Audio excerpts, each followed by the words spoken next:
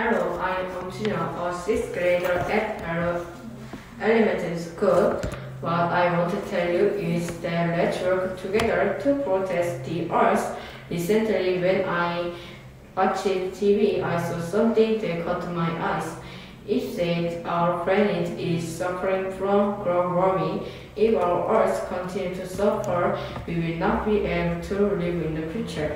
So I thought about we could do to protect the Earth. From now on, I will let you know what I have thought about.